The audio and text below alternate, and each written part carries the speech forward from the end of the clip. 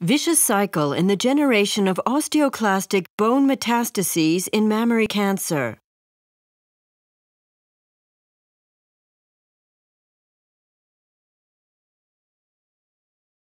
The bone matrix confines the bone marrow, which contains different cell types involved in the formation of osteoclastic metastases the mammary carcinoma cell, the stromal cell, the osteoblast, and the precursor of osteoclasts.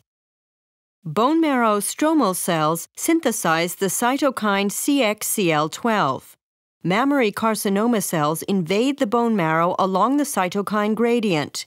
After binding of CXCL12 to receptors of the mammary carcinoma cells, the carcinoma cells secrete interleukin 11. Interleukin 11 binds to its receptors on osteoblasts and stimulates the release of RANK ligand. The receptor of RANK ligand is RANK, present on osteoclast precursors.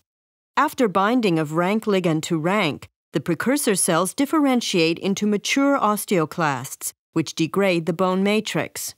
Osteopontin released from the mammary carcinoma cells activates the osteoclasts and induces the synthesis of matrix metalloproteinases.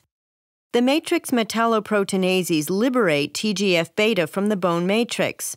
Additional TGF beta is liberated by matrix metalloproteinase 1, which is synthesized by the mammary carcinoma cells. TGF beta binds to TGF beta receptors of the mammary carcinoma cells and induces the synthesis of interleukin 11. The vicious cycle is completed and the degradation of bone matrix continues.